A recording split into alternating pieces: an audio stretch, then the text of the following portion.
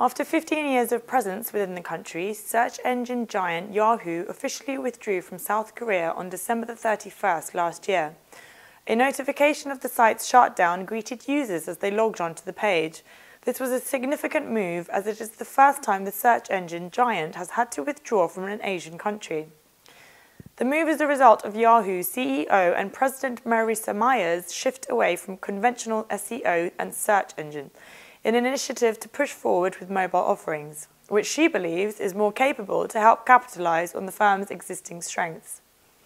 Mayer stated that the decision to withdraw from Korea was part of the firm's efforts to streamline operations and focus our resources on building a stronger global business that's set up for long-term growth and success.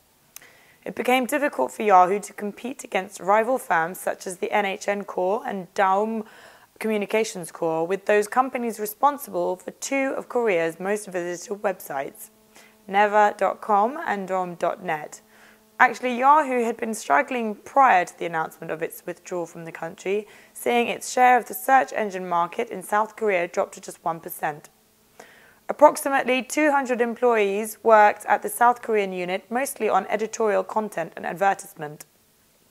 Other brands such as HTC and Motorola have also struggled in South Korea while facing competition from the country's own LG and Samsung brands.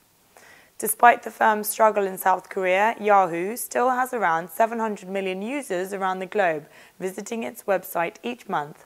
Likewise, the search engine still ranks top globally as an internet destination.